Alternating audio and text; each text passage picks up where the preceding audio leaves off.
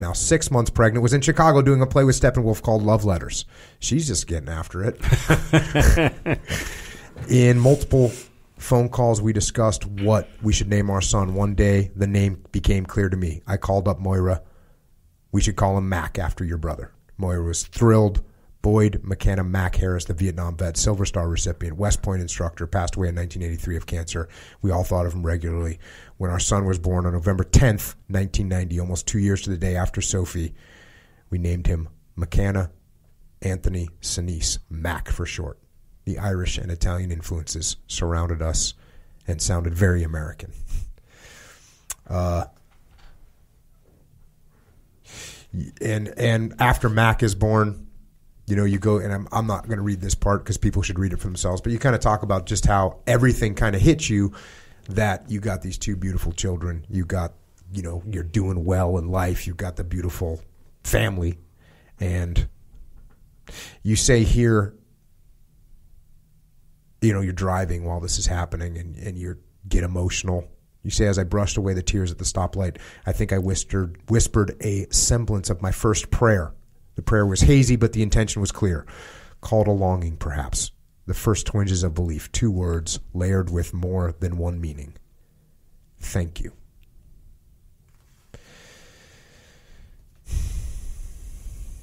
Um, you wrap up Grapes of Wrath on stage and you say here, I search for what to do next. I knew I wanted to do something epic, something that moved people, preferably another movie. But what? Then Elaine Steinbeck, and you talk about where you developed this relationship with her.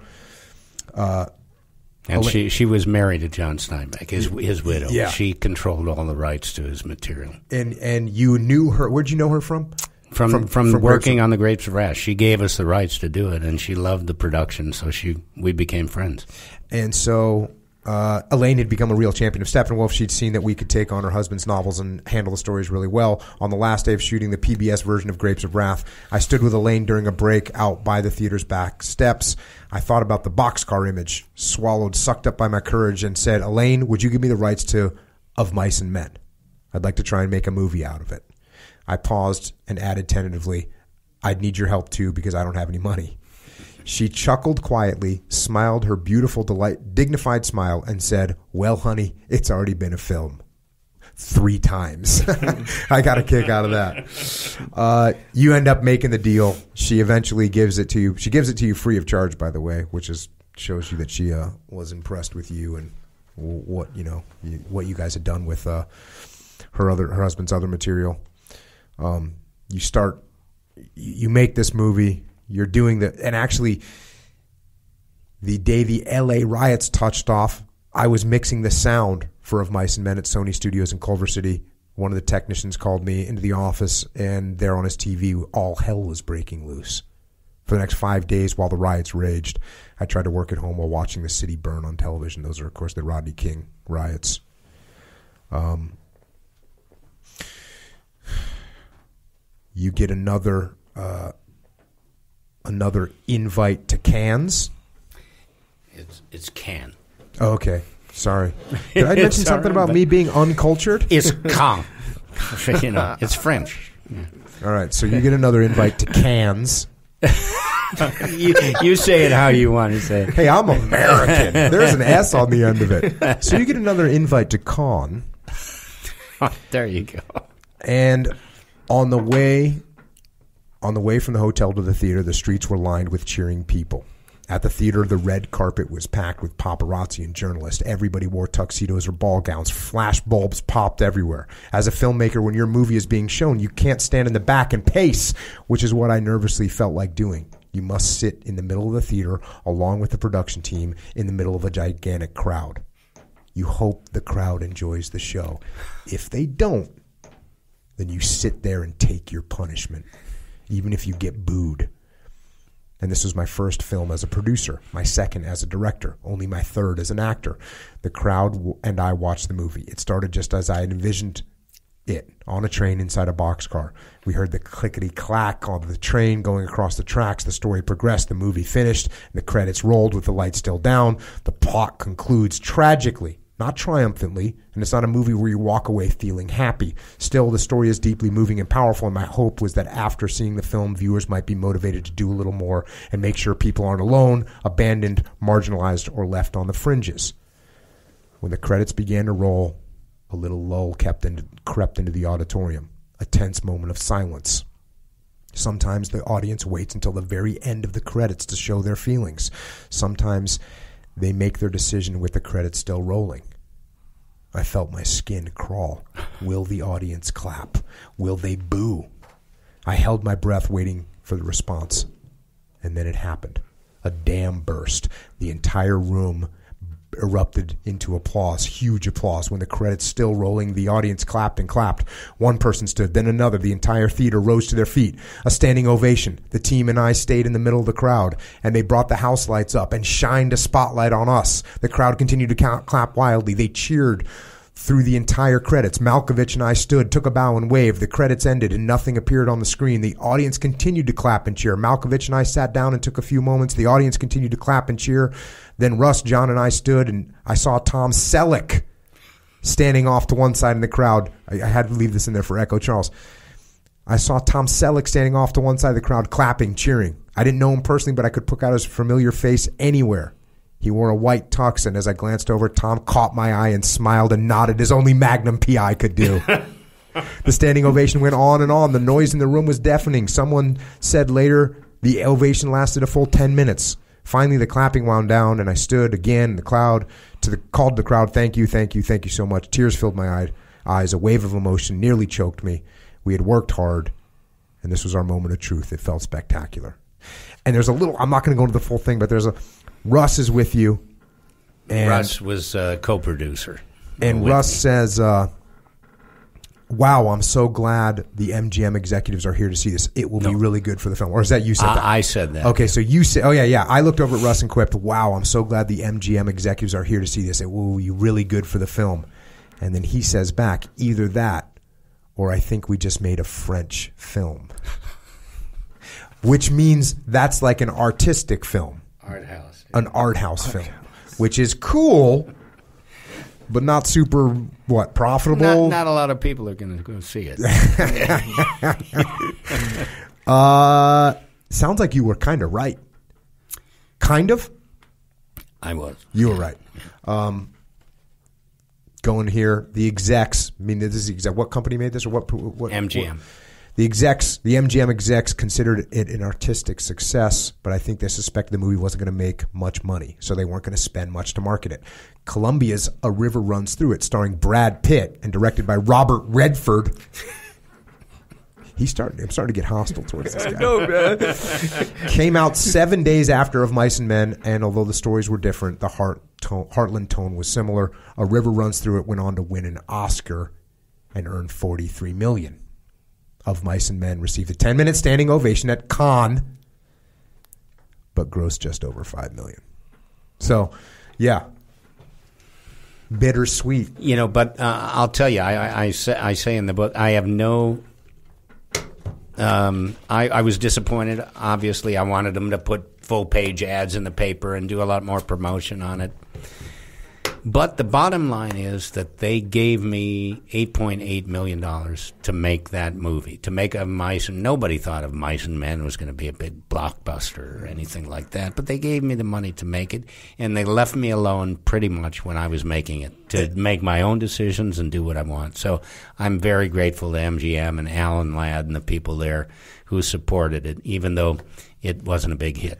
when, you see the movie now, you made the movie that you wanted to make, right? Yeah. You don't look at it now and go, oh, "I should have done this. Or I should have done that." Now, no, no, you know, I uh, I haven't seen it for quite quite a, a long time, but the last time I saw it was with a small group of folks, and I felt like the movie holds up. It's just it's sort of a timeless story, you know, and the way it's made is not. There's no filmmaking technique that happened to be the the, the, the fad at the time and or anything like that. It's shot very straightforward. It's pretty to look at. The it's about the acting and the story is good, and uh, so uh, for that reason, I think it holds up. And I've I've received countless letters from high school kids all over the country for the last 30 years because they they study of mice and men in school and then they watch the movie. And so more kids have seen that movie than ever saw it you know, in the theater when it opened. Where where can people see it right now? Is it on Netflix? It's, it probably is, and DVDs and that kind of thing. Sure, yeah, Netflix. Are they still making DVDs, Echo? I don't Don't they? have those. You don't know anything about that. better- that thing better you be don't on know what that is. that thing better be. Well, people are going to go watch it now. it's a good movie. yeah. and Malkovich is uh, is in it. Uh, we play George and Lennie, and it's a it's a good movie. I'm proud of it. Six weeks before the opening of Mice and Men, our third child was due. Born August twentieth, nineteen ninety two. Ella was our smallest baby, and two weeks after the after her birth, we sat at an appointment with our pediatrician. She listened to Ella's little heart and said, "I want you to go see a cardiologist right away. There's something odd in Ella's heartbeat." I tell you, when a pediatrician says that, your life clouds with fear. So you guys take her to the cardiologist. They run all kinds of tests. They find out that she's got some issues, and they say that she's. They want to see what happens over time. She's got some holes in her heart, um, but sometimes the holes close up on their own, and they want to see what's going to happen. Like, and when I say they want to see what's going to happen, it's a years that they want to wait. Yeah, yeah. Are you sweating the entire time? Are you constantly in fear? Um, no, because we would have regular appointments with the cardiologist, Got it. and he would just he would just listen and see. Eventually, and they would uh, you know take pictures and and uh, look at what happened. Eventually, when she was five years old, uh, there were three holes when she was born in her heart. Two of them closed up by the time she was five years old, and the the last one, the biggest of the three, they said it's not going to close on its own. You, we're going to have to do surgery on it. So that that now we're dealing with our little five year old having heart surgery, and that that then it was it was scary. Yeah, it was. But these heart surgeons are they're they're remarkable, and we had a remarkable heart surgeon who took very good care of her, and she was home within two days, I think, of the surgery, and you know she's perfect. Uh, about five years later, we took you know we had to take her to the mm-hmm. cardiologist. He kept checking. Five years later, we went in. She's about ten years old, and he said, "I've got good news and bad news. The good news is everything's good. Your heart's great." The bad news is you don't have to see me anymore.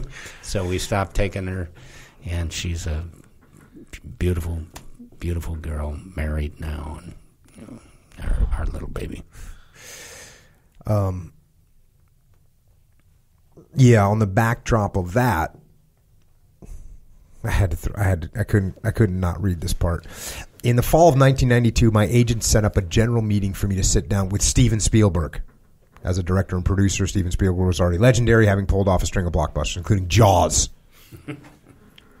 which I could just stop right there, because anybody that knows me knows that when I was a kid, uh, videotape machines had just come out, and my dad got a videotape machine and we had so like we probably had three movies on videotape but one of them was jaws we watched that continually for years We call those VCRs. We don't say oh videotape, machines, right? okay We don't say that. video cassette recorder yeah. VCR. Yeah, VCR. Yeah. video So we had recorder. that. Right. So Jaws, Close Encounters of the Third Kind, Raiders of the Lost Ark, E.T., The Extraterrestrial. Steven asked me what I was doing. I told him about Of Mice and Men. He said, "Oh, I'd love to see it. Will you show it to me? Just bring it over to my house. I've got a screening room there. We'll watch it together." And I said, uh, "Of course." We set up the screening just outside the theater in Steven's house.